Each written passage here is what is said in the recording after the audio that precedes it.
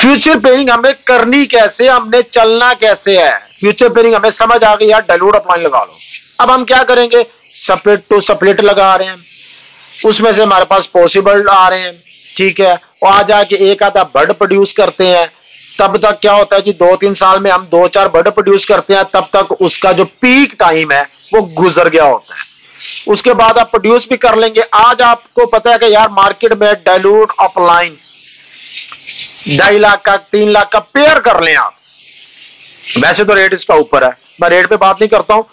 तो आप आज प्रोड्यूस करना शुरू करते हैं। जब आपके पास तीन साल के बाद वो बर्ड प्रोड्यूस होता है, उस टाइम मार्केट में शायद उसकी पचास हज़ार, साठ हज़ार, लाख रुपए कीमत चल रही है। बंदे ने सोचा होता है कि यार, मेरे पास ये बर्ड आज ना। आज हम लगा रहे हैं और सोच हमारी क्या है? ढाई तीन लाख रुपए का यार ये पेड़ है या बर्ड है। उस जेन से चलते हैं, दो साल गुजार देते हैं। तीसरे साल जब वो बर्ड प्रोड्यूस होता है हमारा जेन वही होता है यार, इसमें से बर्ड निकल आया ना। भाजन दो, ढाई, तीन लाख का भाई, इतने का क्लच तो ये होगा, वो होगा।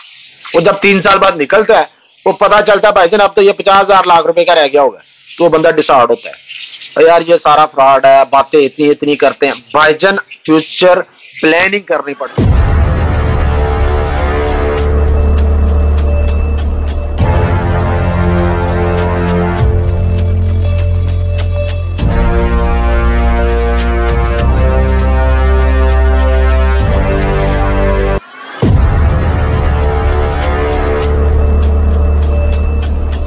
बिस्मिल्लाहिर्रहमानिर्रहीम।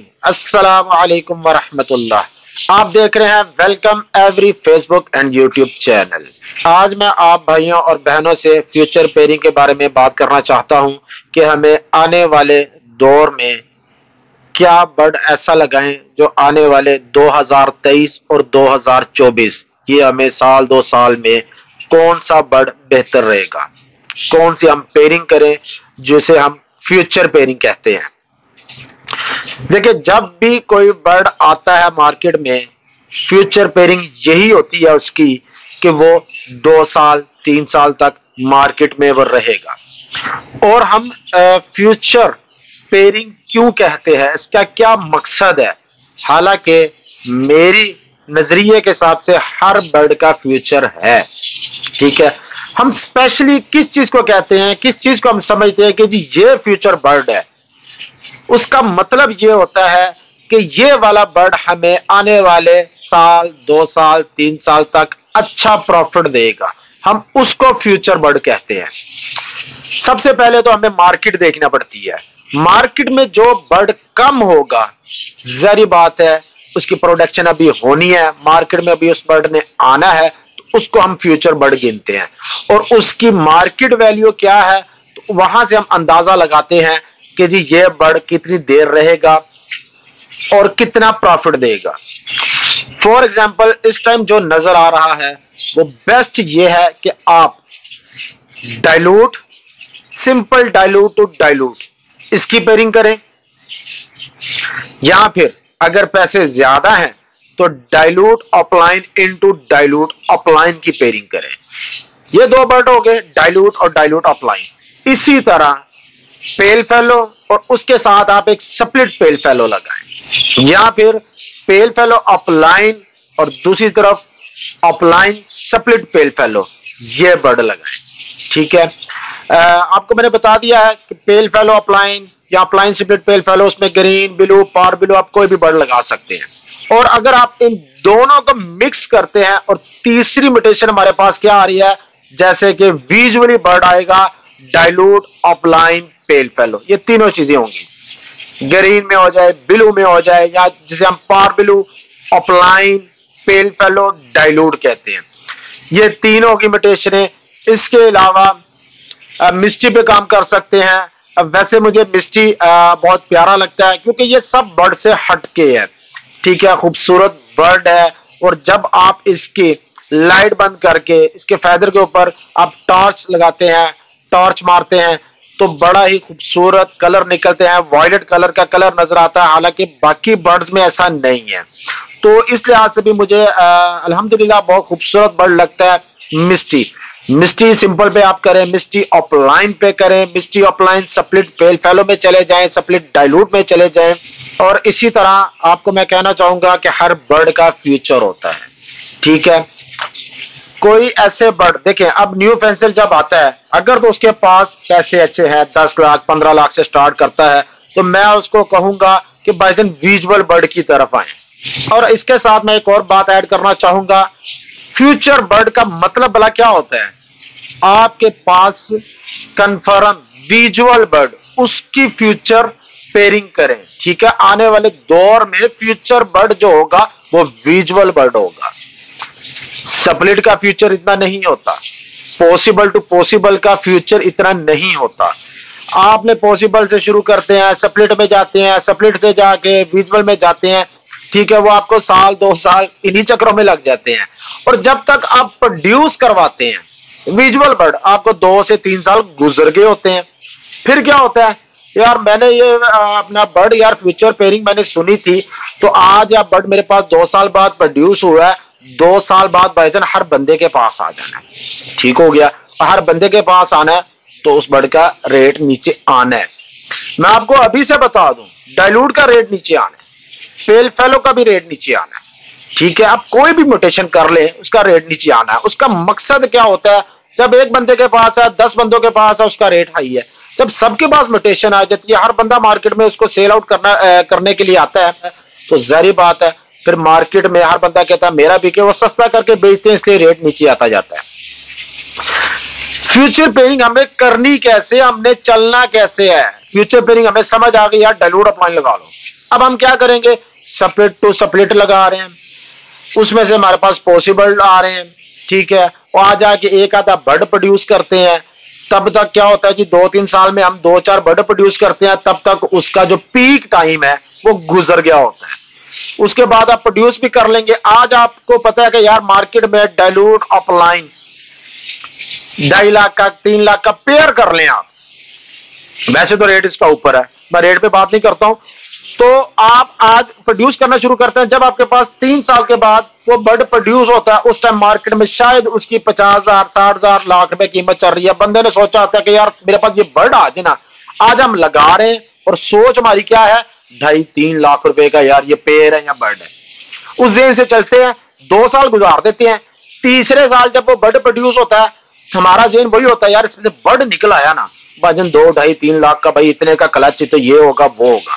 वो जब तीन साल बाद निकलता है, वो पता चलता है भाईजन अब तो ये पचास हज़ार लाख रुपए का रह गया होगा। तो वो बंदा डिसाइड होता है। यार, ये सारा फ्रॉड है, बातें इतनी इतनी करते हैं। भाईजन फ्यूचर प्लानिंग करनी पड़ती है। आपको, अब मैंने जो बर्ड बता रहा हूँ, आप कोशिश करें कि इस सीज़न में आपके पास वो बर्ड लगे। अगला पूरा साल आप उस बर्ड से सिर्फ़ और सिर्फ़ प्रॉफिट कमाएँ। ज़्यादा बच्चे आते हैं, कम आते हैं, वो अल्लाह ताला बेहतर जानता है, लेकिन सीज़न यही है। ठीक है, फिर दो साल बाद, तीन साल बाद कोई और पेयरिंग आ जाएगी, वो होगी। आपने इस काम में स्पीड पकड़नी है।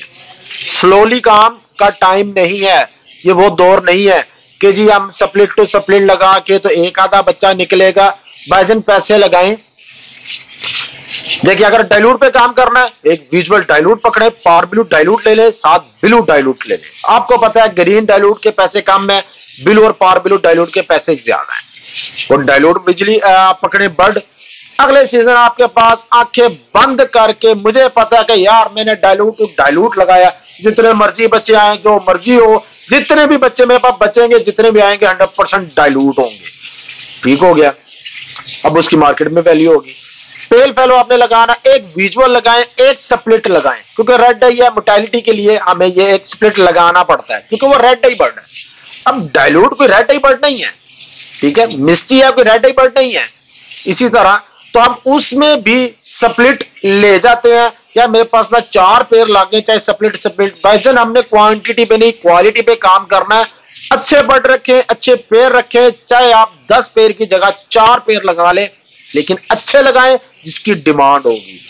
सबसे पहले डिमांड किस बर्ड की खत्म होती है?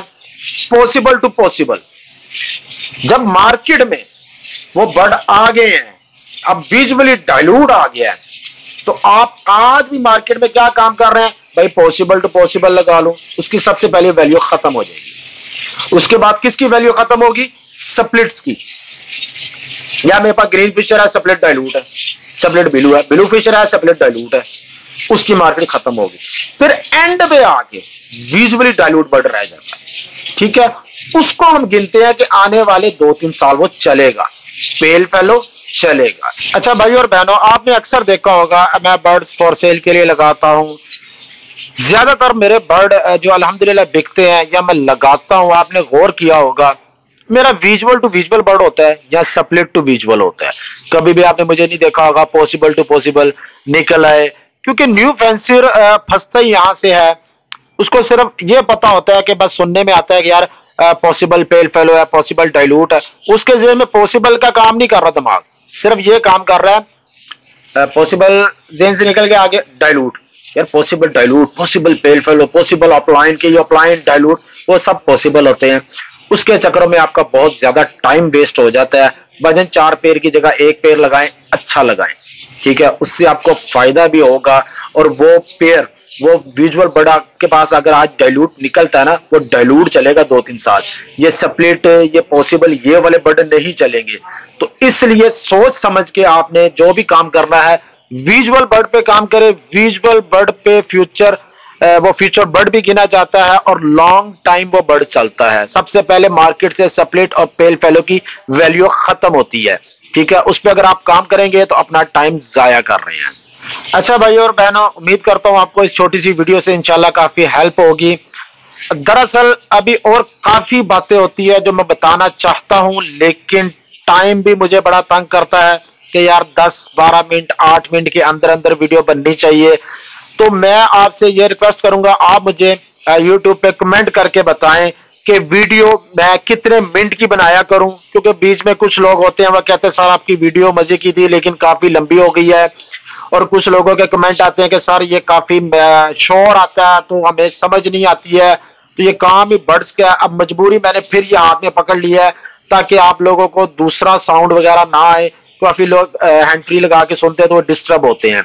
तो आप लोगों ने मुझे ये कमेंट करके बताना है कि, जी, मेरी वीडियो अगर मैं और कुछ बताना चाहता हूँ, उसको मैं दो पार्ट बना दिया करूँ, एक ही वीडियो के, या एक ही वीडियो में मैं आपको जितना बता सकता हूँ शॉर्ट करके बताया करूँ, या तफसील के साथ। तो इस चक्रों में वीडियो लंबी हो जाती है। उम्मीद करता हूँ, इंशाल्लाह, ये छोटी सी वीडियो से आप लोगों को काफ़ी हेल्प मिली होगी, और हम तीनों भाइयों को अपनी दुआओं में याद रखे। इंशाल्लाह, फिर मुलाकात होगी। अस्सलाम वालेकुम वरहमतुल्लाह।